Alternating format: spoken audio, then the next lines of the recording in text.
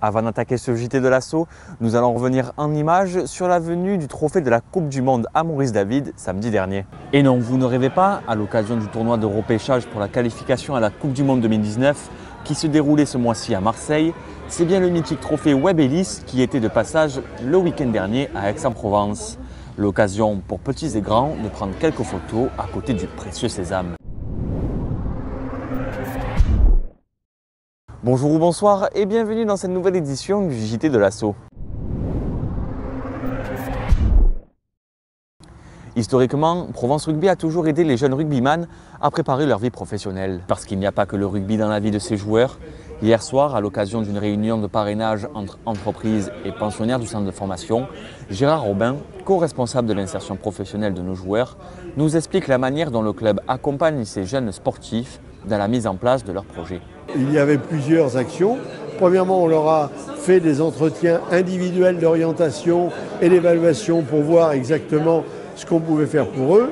On leur a ensuite fait des formations internes sur les curriculums vitae, sur les métiers d'avenir, sur le, travail en groupe, euh, etc.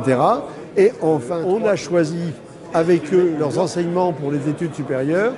Et enfin, on leur a, ce qui a été la cerise sur le gâteau, trouver parmi les sponsors du club un parrain dont l'entreprise avait à l'intérieur le métier qu'ils avaient l'intention d'exercer dans le futur. Ça a été un très grand succès, même des joueurs aujourd'hui qui ont quitté notre club continuent ce travail et cette évaluation dans les clubs où ils sont et évidemment ceux qui sont restés continuent. Un processus qui s'étend aujourd'hui aux joueurs professionnels de Provence Rugby dont on retrouvera les témoignages dans un nouveau reportage dès demain. Dans le cadre de nos relations avec nos 17 clubs partenaires, certaines rencontres jeunes sont délocalisées. C'est le cas samedi avec les Godermen et les Alamercerie qui affrontent Montpellier sur le terrain de Gignac-Lanert. Les premiers cités jouent à 14h tandis que les Alamercerie débutent leur rencontre à 15h30. De leur côté, les Crabos accueillent Perpignan à Maurice David samedi à 15h30. Les Espoirs, eux, se déplacent sur la pelouse de Nice dimanche à 15h.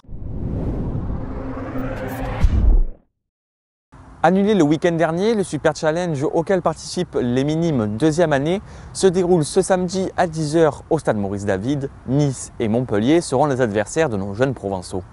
Les cadettes féminines disputent le même jour un tournoi à Maurice David au cours duquel elles seront opposées à Marseille-Yvonne et à Orange, un tournoi qui débutera à 14h30 par un match amical.